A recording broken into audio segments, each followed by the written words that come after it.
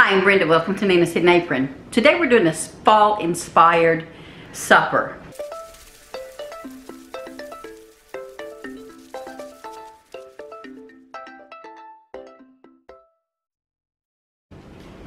We are fixing a sausage and apple stuffed acorn squash. The first thing we're going to do, I've already washed the acorn squash. We're going to slice it in half and remove all the seeds. Then we're going to coat it with olive oil, a little bit of salt, and we're going to bake it center side up in our preheated 400 degree oven. Come on. Okay.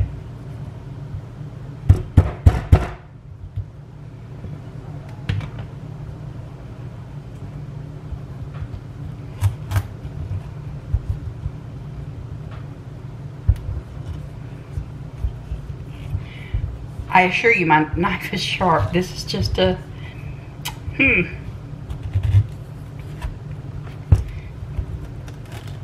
A little bit difficult to slice, that's all. it's definitely not going down the center, is it? As I expected it would. There we go. There we go. I was just a little off key. That's all. I think. I don't know why I always have trouble with these.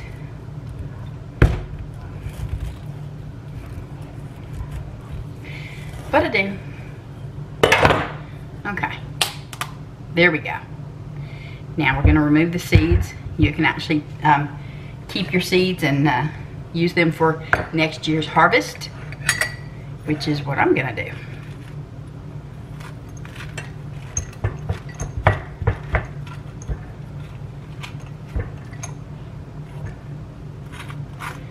All the inside of it cleaned out really good.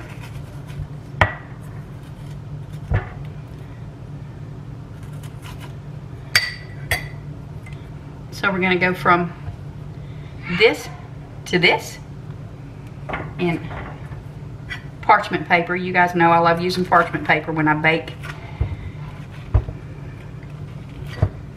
So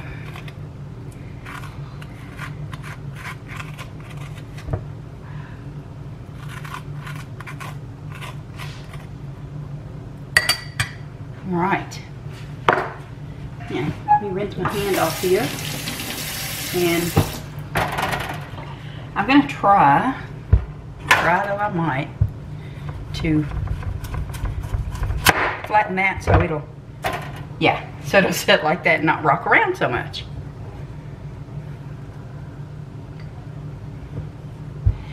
Same with this one. Just a little bit off of it so it'll sit good and steady just like that. All right, next is our, our um, olive oil that we're just gonna pour on the inside. And we're gonna put some salt in there. We're gonna get this in the oven, get it baking. That's the grandbaby. He's a little fussy. He's letting y'all know he's here. okay.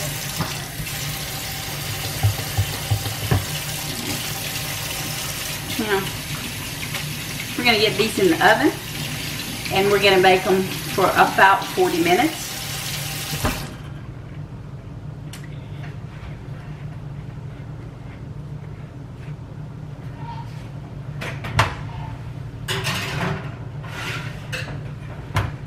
My timer on 40 minutes. Then we're gonna do something else. Next thing I wanna do, I've already sliced up some vegetables that we're going to fry up along with, I have a half pound of maple, uh, I'm actually using breakfast sausage, but it's maple flavor. So I kind of thought maybe maple along with that acorn squash, that maple flavor should taste really good. So let's get started with that next. Grab me a skillet out here. And uh, we're going to go ahead and brown up this sausage. So this will be, we're gonna go ahead and get this in there.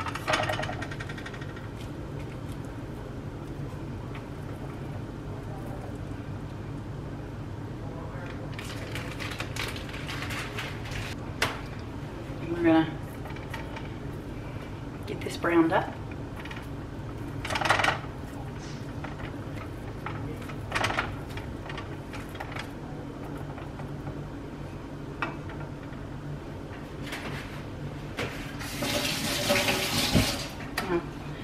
already have our veggies. I have one stalk of celery. I have one fourth of a slice of onion. One fourth of a red bell pepper.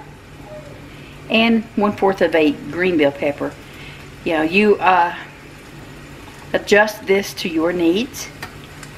And I also have one clove of garlic pressed in there.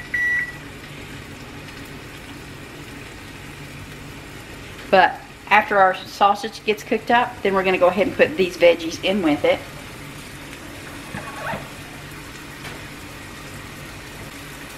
So once that cooks up, I'll, we'll, we'll bring you right back. While our sausage was frying up, I did go ahead and put half a teaspoon of ground sage in it. I don't have any fresh sage, so I did use ground sage. And uh, with the oils from our sausage, we're going to go ahead and pour all these veggies in there and get uh, get them cooking up. We want those onions soft. Delicious, delicious.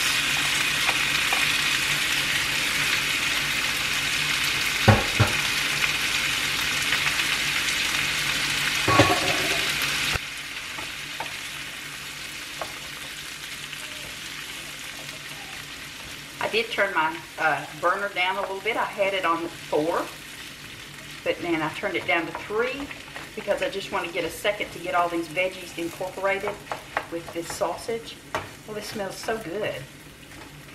Now, you can get the complete recipe for this on a, a Facebook page of another person I enjoy watching, and it's Farmhouse on Boone for the full recipe. She uses a little bit different, a few things different than, than what I have, but uh, that's why we each, each make it our own. That's how we do that. And pay no mind to the stuff sliding around in the sink. all right, and I did put just a little bit of salt in there too, so we're good with all of that. Now, we're gonna let that go ahead and cook. I'm gonna slice an apple. I have half of an apple, using a Fuji apple. That's uh, that's what we got, so that's what we're gonna use. But we're gonna go ahead and slice that up and uh, give it a dice. And then after all of the veggies cook, we're gonna go ahead and add our diced apple to the mixture. And again, I only used half an apple. This is for Tom and I. And uh, you can see her full recipe or adjust it however you need to for your family.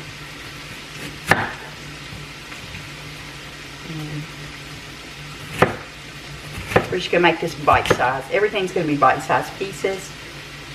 Hmm, someone might have to have a bite of this.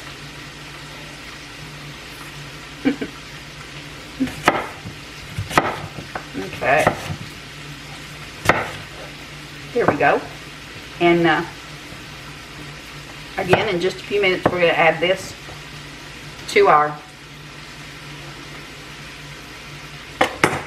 skillet.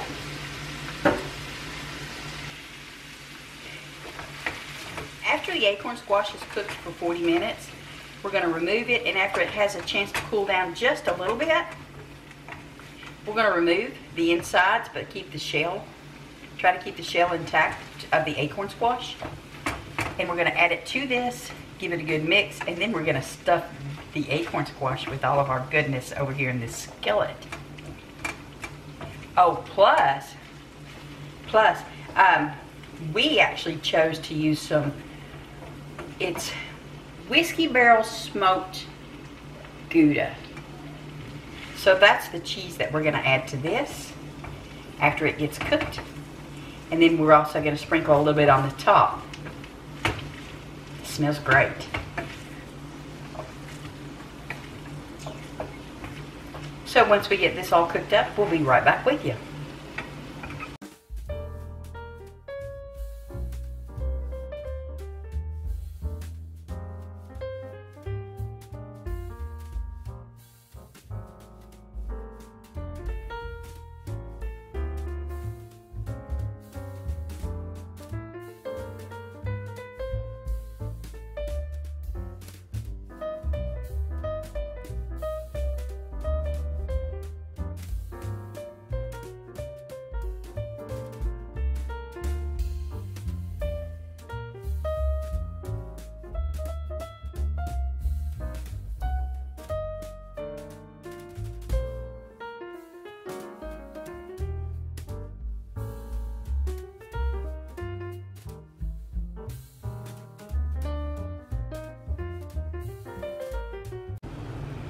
Okay, I'm gonna take a scoop and, and get the insides of this out.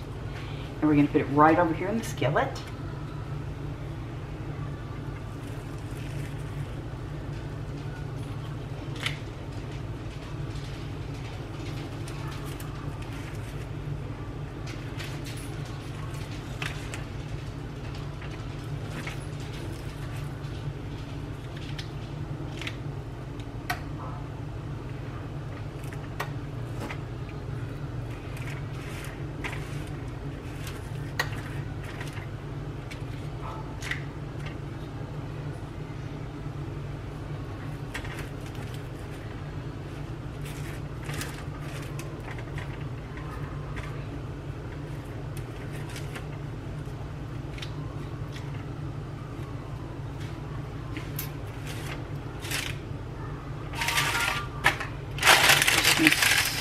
Spin that around so that I can get the meat from inside of this one.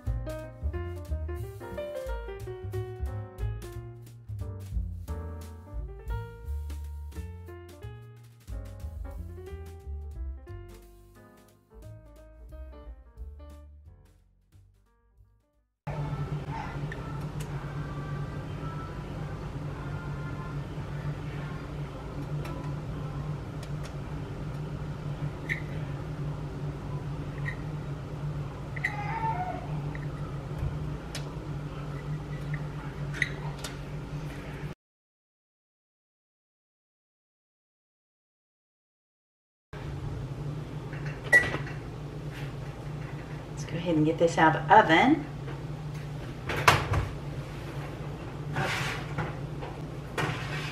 Oh, it looks so nice. There. Yummy. Okay, we're gonna let these cool down and then we're gonna have our dinner. So you all take care and we'll see you next time. Bye.